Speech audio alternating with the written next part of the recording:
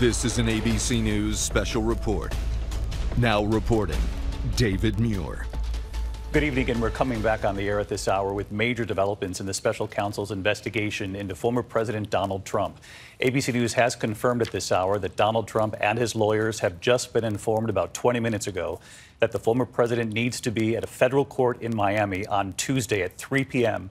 to be processed on federal charges. This, of course, would be the first president ever to be indicted on federal charges. I want to bring in several members of our investigative team, beginning with Katherine Faulders, our senior reporter. And Katherine, what are your sources telling you as far as uh, the number of counts at this point and the range of what's being charged here? David, we're learning from our sources that there appears to be at least seven counts here. This ranges from everything from uh, the willful retention of national defense information to conspiracy uh, to a scheme to conceal to false statements and representations.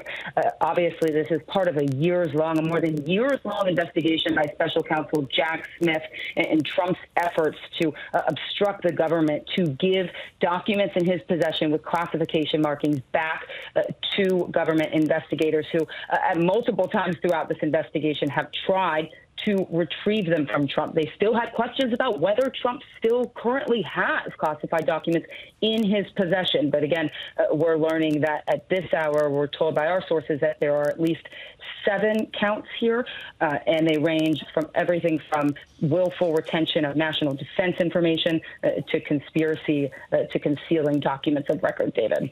Katherine Faulders, uh, our senior investigative reporter with our investigative unit, again reporting just moments ago uh, that Donald Trump, the former president, and his lawyers have been told to appear in a federal court in Miami next Tuesday. 3 p.m. is the time we're told, but we're still reporting this out.